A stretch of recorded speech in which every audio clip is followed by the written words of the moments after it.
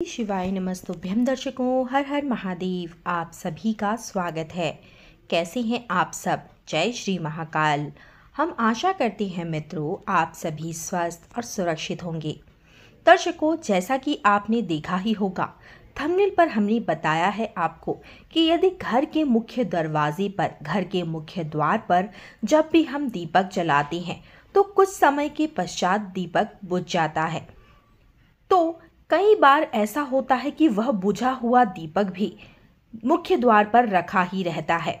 मुख्य द्वार हो, चाहे मंदिर हो, उसमें जली हुई बाती हमेशा मौजूद होती है।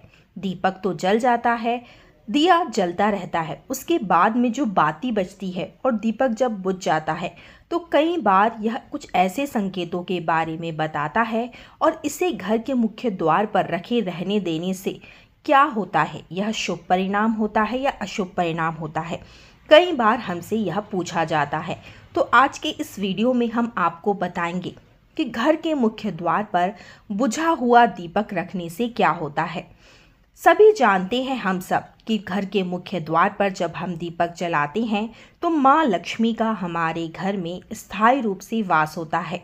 क्योंकि उसे मुख्य द्वार से होते हुए माँ लक्ष्मी हमारे घर में प्रवेश करती हैं और हमारे घर को सुख समृद्धि बरकत से भर देती हैं, धन के भंडार भर देती है।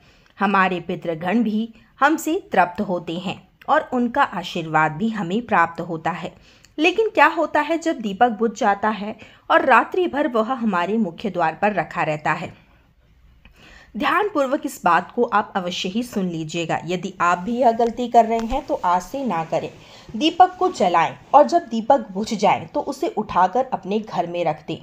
वापस से दोबारा दूसरे दिन उस दीपक को जलाकर मुख्य द्वार पर रखें।